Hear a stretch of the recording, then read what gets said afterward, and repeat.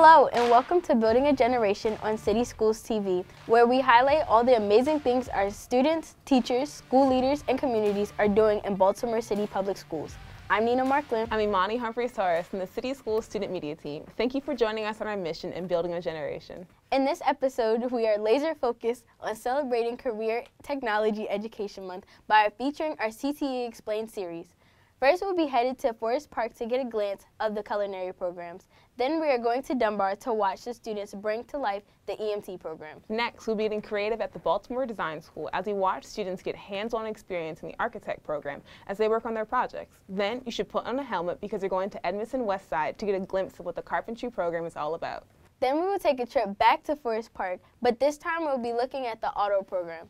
Don't forget about the question of the show, so pay close attention. Finally, after the question of the show, we'll be taking a look at an event that celebrates our amazing CTE programs called CTE Demo Day. We've got a lot to show, so let's jump right into it. Our first story takes place at Forest Park High School. This segment of CTE Explained is about the culinary arts pathway, which is perfect for our resident chef and today's reporter, Bryce Taylor. Let's see what the students at Forest Park are whipping up. Take it away, Bryce.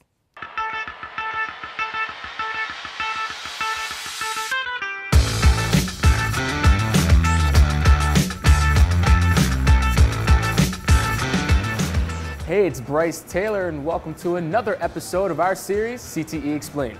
In this series, we dive deep into different CTE programs, talk with students, and get a real feel for what it's like. In this episode, it's about culinary, but more specifically, baking. In a couple minutes, I'll be bringing in Jordan, and she's gonna teach us how to make snickerdoodles. Look at this. So, let's cut the chit chat and get cooking. All right, so I'm here with Jordan. Now, Jordan, tell me, what are we making today? We are making snickerdoodle cookies. All right, so what's in a snickerdoodle? Butter, sugar, flour, vanilla, baking soda, a tad bit of salt, and then you would roll it into the cinnamon sugar mixture, which is right here. All right, let's, let's get going. So what's the first thing we're adding? So we're gonna add some flour. All right. We're gonna start off with a cup. Make sure this is level Why do we level? because you would want correct measurements when you're baking because one thing could throw it off. I think that's pretty cool how it has to be so precise, and if, if it's not precise, if it's just off by a little bit, it just completely goes up in the air. I Yeah. think is pretty cool. Baking is like more of like a science. And now we're adding another cup of flour. So it seems like it's a, it's actually a lot of math when it comes to baking. Yes, and that's why before we actually could get into the kitchen, we have to do math work to make sure that we're able to do the correct measurements while baking. Makes sense. Why do you like baking and culinary? I've been baking and cooking since I was a young child, so this just brings me joy. All right, so once we add our flour, what are we, what are we doing next? We will be mixing. So what do you learn every day here in the culinary program? In the culinary program, I have to learn, we learn patience because sometimes it doesn't always turn out right the first time. I get that.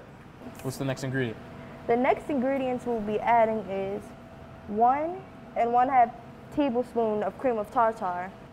This is what makes the snickerdoodle soft. This is the key ingredient. All right, let's get that tartar in. Start with the half a teaspoon. So does the Of cre- cream does it have any specific flavor? Does it flavor the cookie at all, or is it oh, just? Oh, it, no, it's not a flavor. It helps with the texture of the cookie. A half a teaspoon of baking soda. Okay, now what does the baking soda do? The baking soda helps it rise. You know what happens if you add too much? It's gonna overflow. It's gonna overflow. Yes. I mean, to me, cookies overflowing. I'm pretty happy. feel like I get more. And we're adding salt now. Yeah. Alrighty. The salt helps balances balance out the sweetness. And now we'll be adding two teaspoons of vanilla. And the vanilla just gives it that finishing nice snickerdoodle flavor, right? Yeah. This stuff is very, very powerful. Our last ingredient that we'll be adding is the last egg. Would you like Last to do egg? the honors? Of course, of course. No shells. No shot. Crack close to the bowl. All right. Hmm.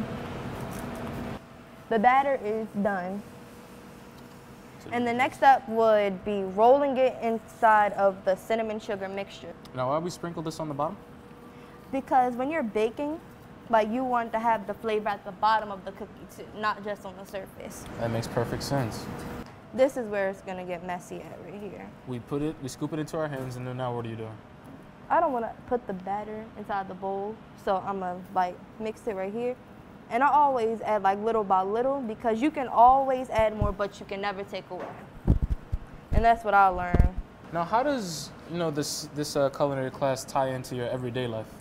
Um, it ties into my everyday life because I have another job, like an actual catering job. You got that experience down pat. I'm still learning. So you would say you feel like you're prepared for jobs? Yeah. Okay. And then you don't want to add too much batter because the cookies expand. How much do they expand by? I would say about two inches. Okay. So you want to give the cookie some space. Okay. What's the oven set to? 350 degrees. And how long do we bake them for? Um, 10 minutes. And what happens if you were to go a little bit under or a little bit over the set temperature? If you have it under the set temperature, it wouldn't be very, it wouldn't be cooked in it. And if you go over, the snickerdoodles will get hard. And snickerdoodle is supposed to be a, a soft textured cookie. Okay. So that will throw off the balance of the cookie. So we have 10 minutes. Yes. All right. All right, so it's been 10 minutes. Now we're gonna pull these snickerdoodles. Oh my goodness. Mm. Okay, so what are we doing now? So right now, we will be taking the cookies off of the tray because if they sit in the tray, they will continue to cook because of the heat. And then after we scoop them all up, what's next? We taste them. Are we sprinkle a little bit Yeah. more cinnamon sugar on that too? These look delicious, absolutely beautiful. And they look soft too. You grab your, I grab my pinch roll, you grab your pinch roll. On three? Yep. One, two. Two, three. Voila. And now we taste. All right, so you get, you, you, you choose first. I would only. We'll grab this guy right here. All right, we're gonna go for it? Yep. All right, Ready? one, two, three. Mm.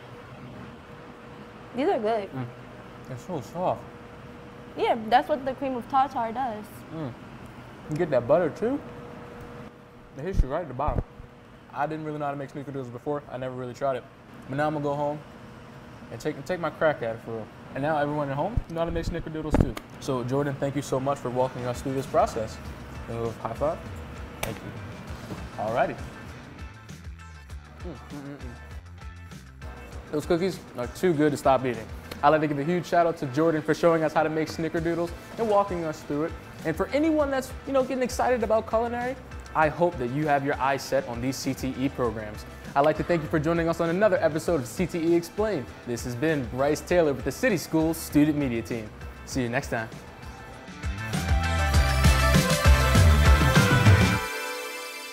Wow, those cookies look so good that I can smell them from here. Those ingredients were strange, but the final product looked great. I think my favorite kind of cookie is snickerdoodle. How about you? Mine will always be chocolate chip.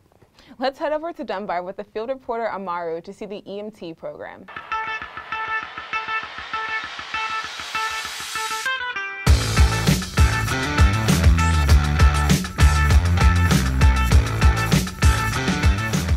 Hey, it's Amaru from the City School Student Media Team, and welcome to CTE Explain, a series where we dive deep into the CTE programs in our schools, talk to real students, and get a real feel for what it's like.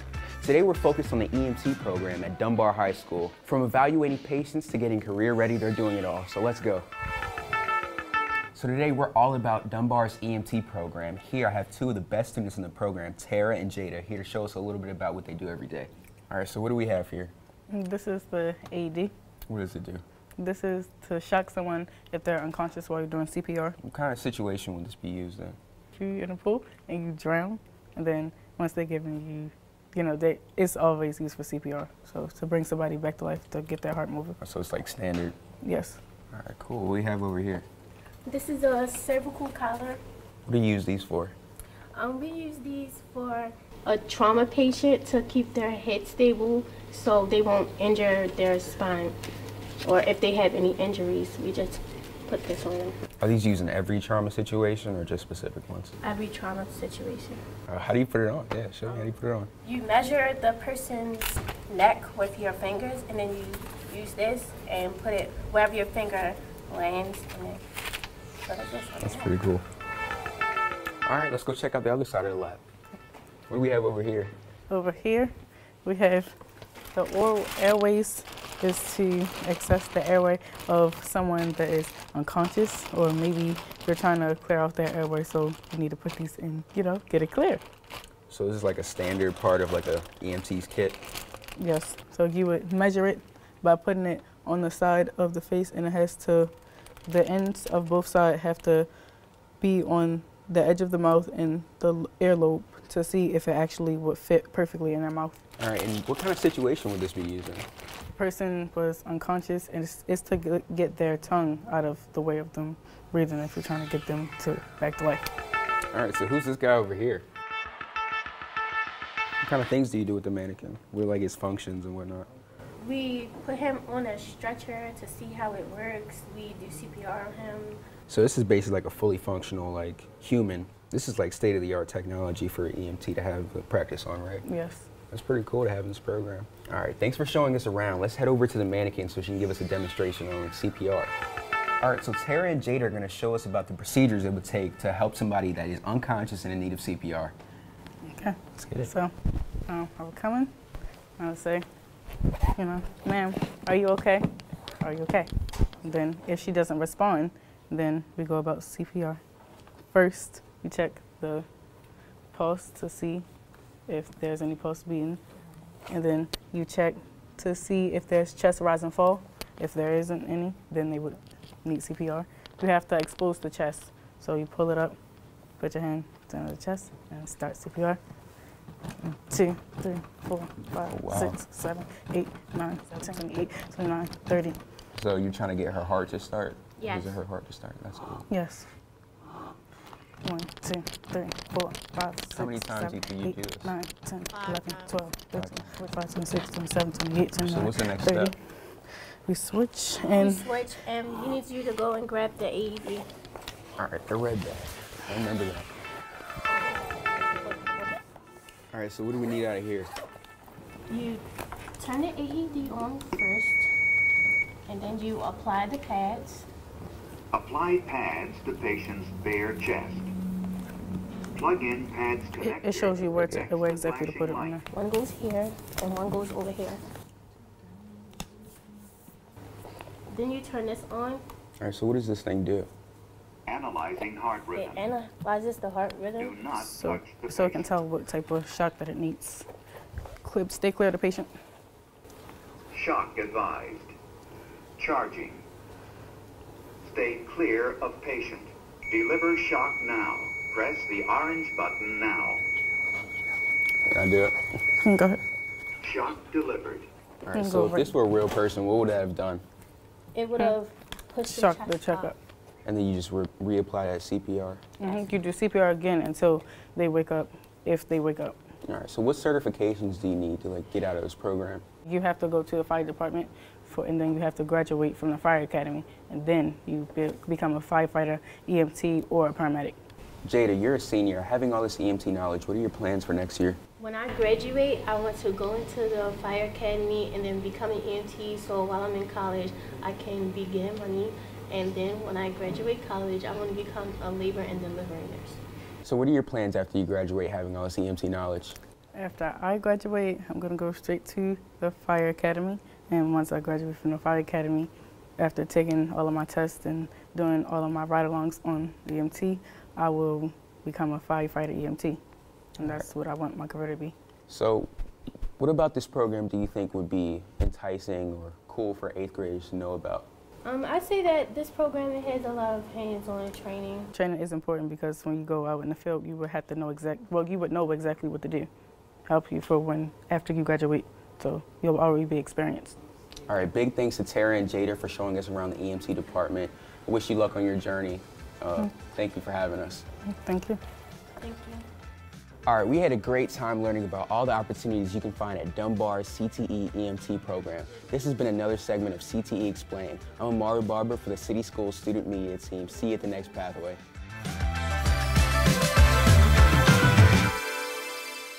Wow, that's amazing to see students learning to do CPR and resuscitate patients. I know, it's really cool that Baltimore City School students are getting provided opportunities to learn skills like this for future careers. Speaking of amazing programs, let's check out what the students of Baltimore Design School are doing.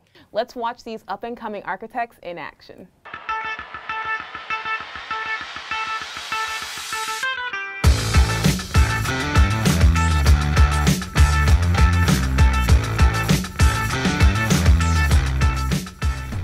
It's Niles Garrison, and welcome to CT Explained on City Schools TV.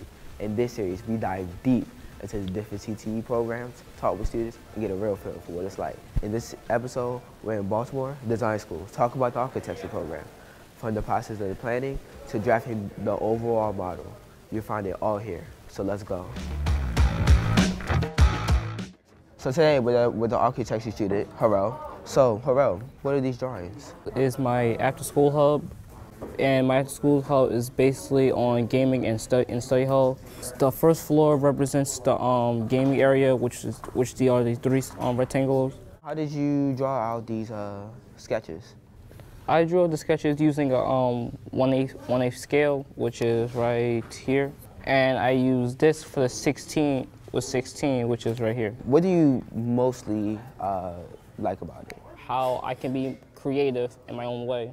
I don't have to abide by anyone's rules. I can do I can do as I please. Thank you for the model and showing me basically what the architecture program is really about. Thank you. You're welcome. Destiny, what do you have right here?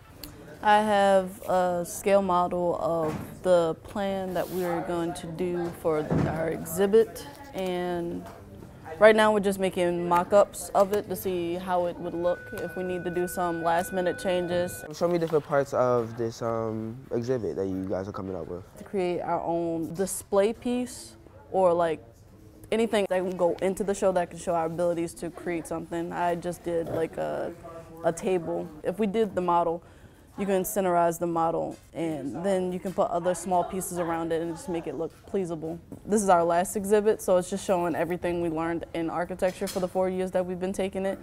How important was the collaboration on this project? You're doing architecture, so that means you're just doing buildings. You're doing architecture, you're designing cabinets, you're designing bikes, you're designing uh, tables, you're designing even a weird sculpture that you just happen to make.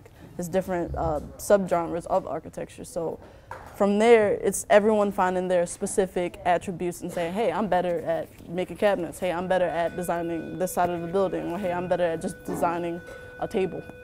Um, do you think the school right here really pushed people into becoming architects? I, I feel like architecture is the best part of the school because when you're doing architecture, as I said earlier, you're not just doing the generalized, like I'm creating a building. You can go into any aspect of architecture, whether it's designing tables, whether it's product design. Thank you for showing me this model. It really gave me a, a good debrief of what the architecture program is like and what you guys are looking forward to the future. Thank you.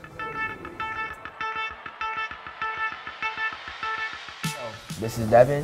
Um, I just heard him talking to Mr. O'Hara about his uh, model. Devin, give me a discussion about what's going on with your model. All right, in my model, I was thinking that we could use basic tables and build up pyramid-like structures to then display people's artwork on the side. My first idea was to have this cut out like this and have triangles on the end where each side can hold the art, like a piece of artwork. But then I changed my mind. I was just gonna have this side built up and have the inside hollow so we could just leave our models inside. And for each side, we can have the person's uh, name on the top or bottom to describe whose artwork it is. And if the person want to have something like explaining, or if they want to stand there and tell people about their artwork, they can. What really made you come up with this idea? I just saw everybody doing either wall extensions or just flat on the table, and I was like, why not have it elevated so people can just walk in and just look at it. Just give me a rundown. What do you really like about the architecture program? I actually got a passion for it, and it was just something fun. I thought that was real fun to do, and I like being hands-on and building models. So, David, what is the average day um, in this architecture class? We start brainstorming. After we get to brainstorming, we all have a group discussion about it, trying to get pointers on how we can make our project better, and then we just sit here and do the models. Um, well, thank you, Devin, Mhm. for showing me. I'm gonna let you get right back to your work. Thank you. Thank you. That was such an amazing inside look of the architecture program at Baltimore Design School. Thanks again to everyone for showing me their models. They were pretty cool. Make sure to watch additional episodes of CTE Explain on City Schools TV. And you can find us on YouTube, Instagram, Twitter, and Facebook. This has been Niles Garrison on City Schools TV. See you at the next pathway.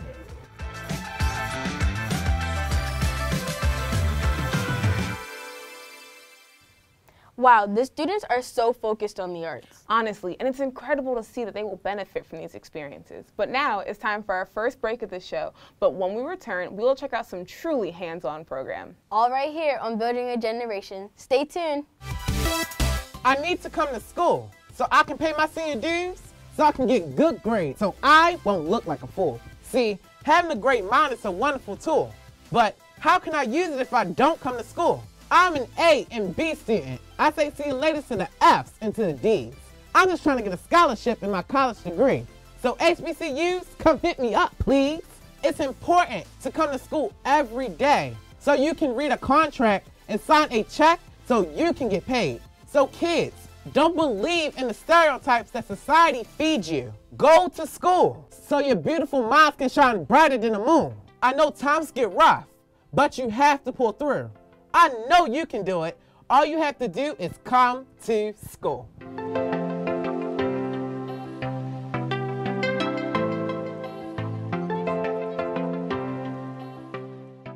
Tenemos un papel para jugar, especialmente cuando se trata de asegurarse que cada estudiante esté en la escuela todos los días. Las escuelas de la ciudad pueden crear un ambiente que hace que la escuela sea un lugar donde los estudiantes quieran estar. Muchos estudiantes no pueden estar en la escuela debido a problemas personales o financieros. El personal se conecta con los estudiantes para identificar las barreras en el hogar, la comunidad o el edificio de la escuela que dificultan la posibilidad de asistir a la escuela todos los días. Las escuelas pueden recompensar a los estudiantes por una mejor asistencia con anuncios y viajes especiales.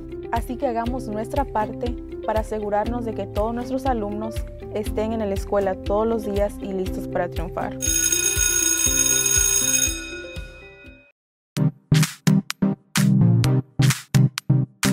I am a Baltimore City Public School student. Ana Lara Goma, Baltimore City Public School.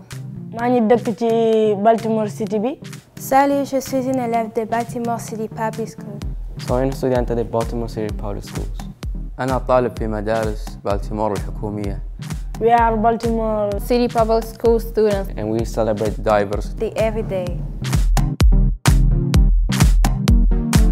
These are our future engineers and electricians, software designers and doctors, construction workers and childcare providers. They will build apps and houses, create menus and video games, work with cutting edge technology and kids. They'll be found in classrooms and courtrooms, construction sites, and computer labs. They are Baltimore City Public School students. They are career and technology education. Back to Building a Generation, our show for bringing together the best of what's happening across Baltimore City Public Schools. So let's get back into the swing of things. We're going to send it out to Michael Joseph, who is at Edmondson Westside, checking out carpentry students working on a chicken coop and a shed. Take it away, Mikey.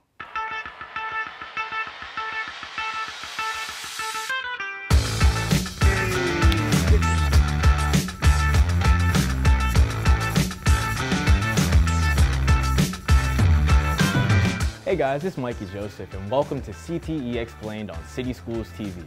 In this series, we dive deep into different CTE programs, talk with students and get a real feel for what it's like. This episode is all about the carpentry program at my school, Edmondson Westside. I know we stopped by Carver in another segment, but you must check out the projects we're about to show you. Let's go! Alright guys, I'm here with Ivan. This is one of the A students in the carpentry class. What have you guys been doing on your project so far?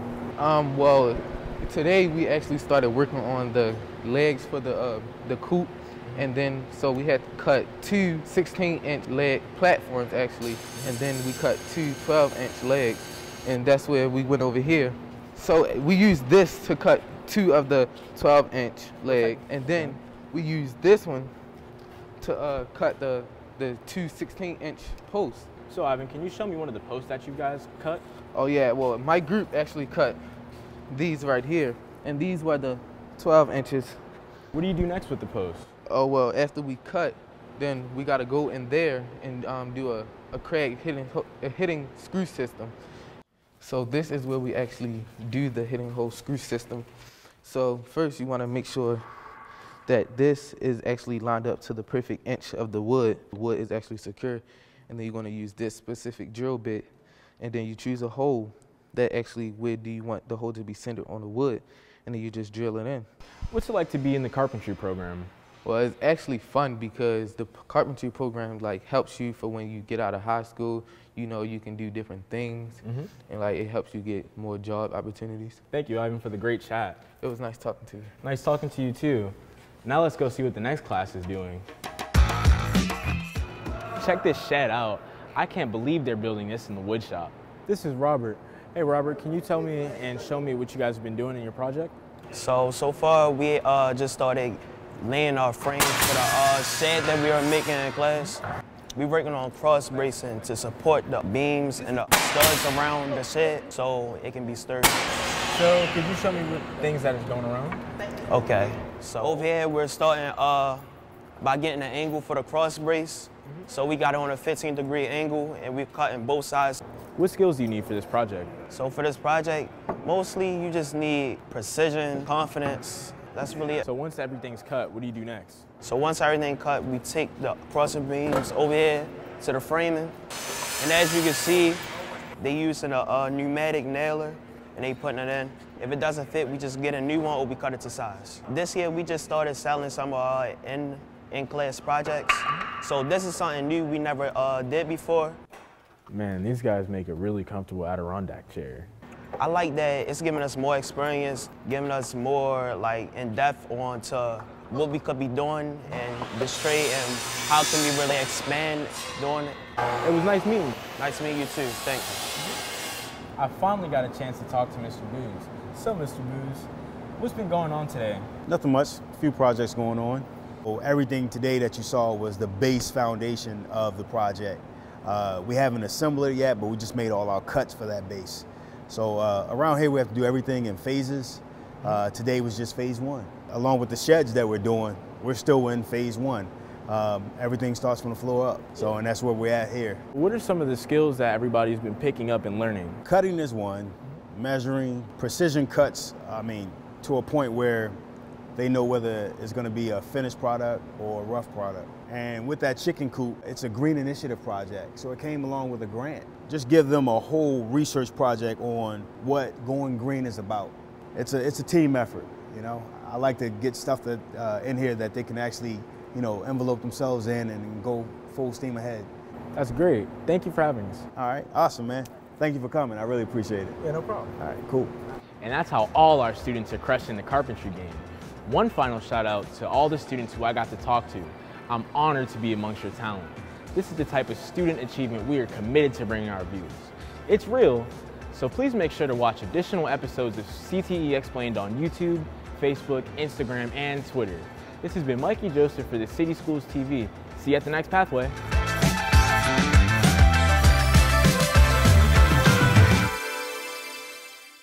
Wow, it was so cool to see students at Edmondson really getting the true hands-on experience. I can't wait to see the final project and what they build in the future. Me too. We'll probably have to call them back for some renovation projects or maybe some custom gifts. Oh, now let's check out the students who are training to become auto mechanics. And from the cars I see rolling around Baltimore, there is no shortage of work. So back to you, Bryce.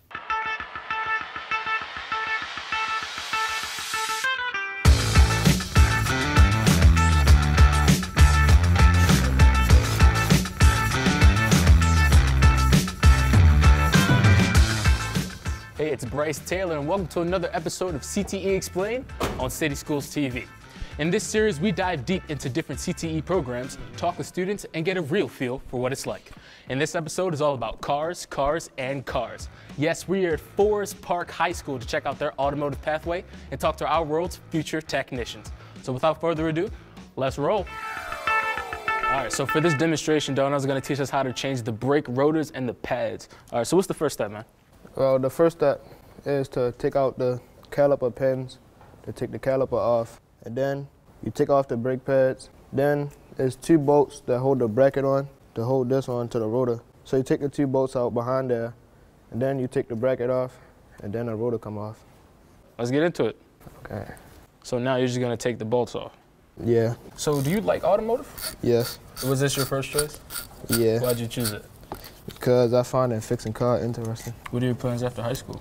To open up my own business. What is the tool that you're using? A wrench and a size 13 socket. And then once you pop these off, what's next? Well, you gotta sit the caliper somewhere so that the brake line won't pop while it's hanging. Sit it back here so that it won't hang and pop the brake line. Then you take the brake pads off. Now see, what do the brake pads actually do?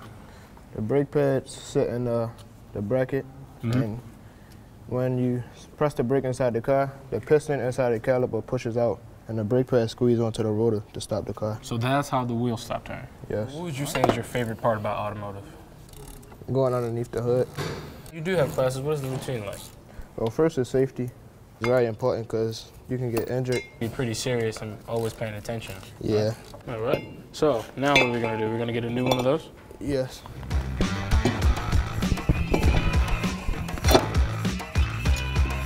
Or these just This the bracket. it just sits here. And you screw it. in? Yeah. All right. And where does this one go? I'll screw this one. The bottom. No, right here. Right here. Yeah. Pretty tight as it's gonna get. Uh-huh. Now we just use the socket wrench to make it tighter. Yeah. All right. Cool.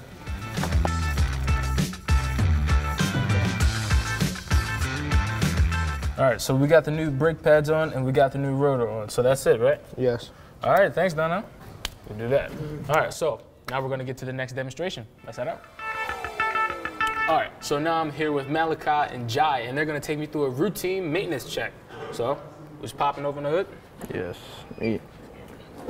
Here we go. All right, so in a routine maintenance check, what are we looking for? Um, the basic stuff under the hood, like the oil, windshield fluid, uh, power steering fluid. Uh, let's pop this up real quick. Now, um, coolant filters. That's one. That's two. Um, brake fluid. Um, you don't really gotta check the battery. That's pretty good. All right, so what we checking first? Um, check the windshield fluid first. Pull that out. If you see it's, that's pretty good because you see the color in it. That's pretty full. Uh, And if it was if it was more clear, that's how you know we need to put more in. yeah, All yeah. right, but so we're gonna good. we're gonna put a little bit more in there to get it up. We're gonna grab a funnel. Okay. Wipe it out. Okay, make sure it's clean. We pop that in there. Pour it through. Yeah. All right, that should be good. That should be good. All right, what's next? The antifreeze coolant next. Is that That's that. Yep. Okay. All right. Sit that in there. How do you know when to stop? It has a line on Um, it's a max line. You don't want to put too much because it's not good for the car. So, we Jai, how did there. you get into the automotive program? Pretty cool. I like it. I like working on cars. I like knowing about it. I know a lot of people that know about know stuff about cars, so I was like, why not? It's pretty dope. So these are the uh, the air filters. And what are we looking for to see if they're See if they're dirty. it's dirty or dusty? Yeah, pretty clean. That's pretty clean. Pretty clean. And you Good. do just pop them back in? Yeah, it's popping back, but it puts me in. So, guys, what are some of the things that you know people bring the cars into shops and they pay like a bunch of money for that they could just do by themselves? Check your oil. Like, pull that out. Like, if it's like, see how it's like brown like that? Mm-hmm. If it's too dark, then that means it's like, it's old. So you should want to change it. You could do that yourself to, ch- to save some money. So the cool thing is when you guys you, you guys have cars, you get your cars, you already know what to do with them if there's a problem. You only have to go to the mechanic if you really need to, right? Yeah, yeah. Sounds like a deal to me. Yeah, that Yeah. seems pretty simple. I feel like people should, you know, learn how to do this for real, for real, because it's, Yeah. it's saving money. Yeah, a lot of money. A lot of money. Is that it? Yeah. Put your hood down. Yeah. All right, thanks, Jay. You're welcome. Thanks, Malachi. Uh, you know, if you're watching, I really hope you paid attention because a lot of those things seem like you can do them yourselves and you really don't have to go to the mechanic.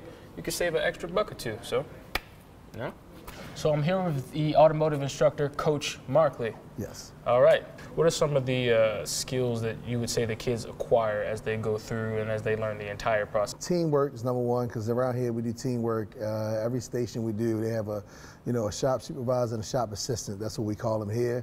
just a lot of lifelong skills that they can use. So it's always good just for kids to have that option in case they don't go to college or anything, just to have skills like this so they can get jobs. Absolutely, yes. So, just to recap, we learned how to assess a car, how to change the rotors and the brake pads on some brakes, and we got to speak with some of our world's future technicians. I need to hurry up and get a car just so I can work on it because this is pretty dang sweet. So, with that being said, this has been Bryce Taylor with another episode of CTE Explained on City Schools TV. See you next time.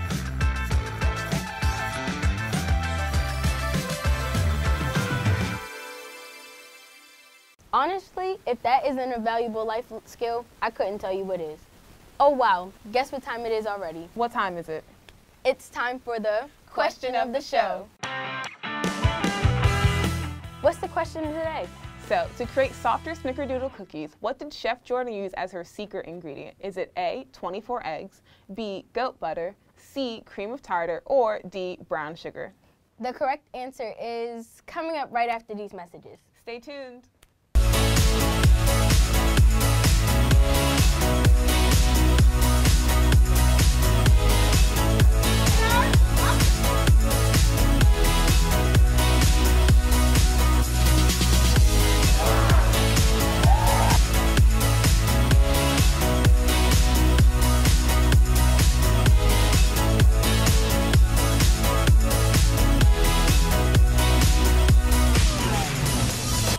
What are you doing to prepare for college? Here at Baltimore City Public Schools, there are many opportunities for students to earn college credits while in high school. Dual enrollment allows students to take courses free of charge at local colleges. This way, students get to know what it's really like to be in college.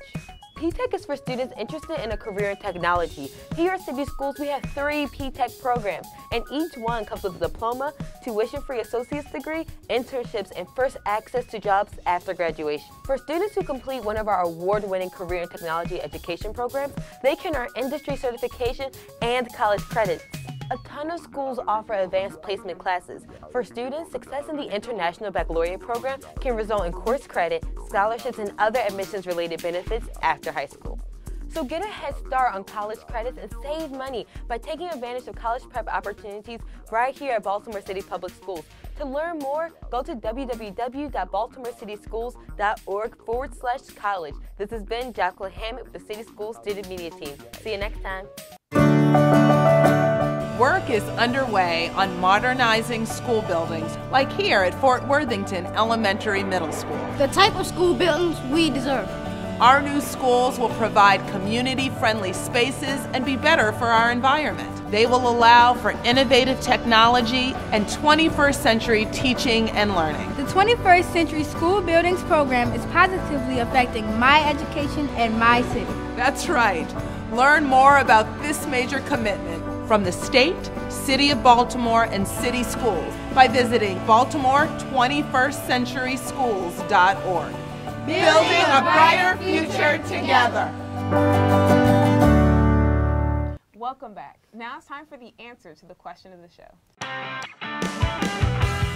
To create softer snickerdoodle cookies, what did Chef Jordan use as her secret ingredient? Was it A, 24 eggs, B, goat butter, C, cream of tartar, or D, brown sugar?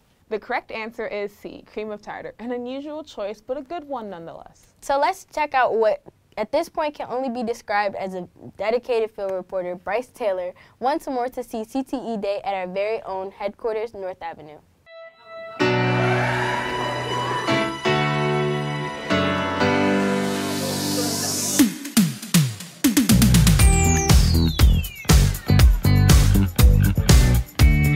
Hey, it's Bryce Taylor on City Schools TV. And today, yes, today we are here at the annual CTE Fair. Yes, it's been a while since I've covered this. I know, I know. But today is a celebration of CTE and their programs and especially their students.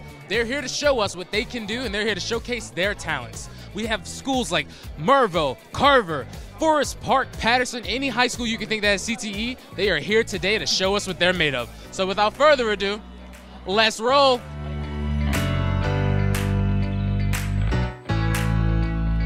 So, Farouk, tell me a little bit about this program that you're in. I'm, I was a part of the uh, BG Smart Energy Force uh, internship program, and I entered in the 2019 summer program, and it was a it was a big life changing experience for me, and I learned a lot. I had an opportunity to meet people that I probably wouldn't have met on a regular basis, and it was just life changing. It's hidden. What's up, y'all? you know what? Maybe she don't need extensions. You know, my, my, my chef senses are tingling.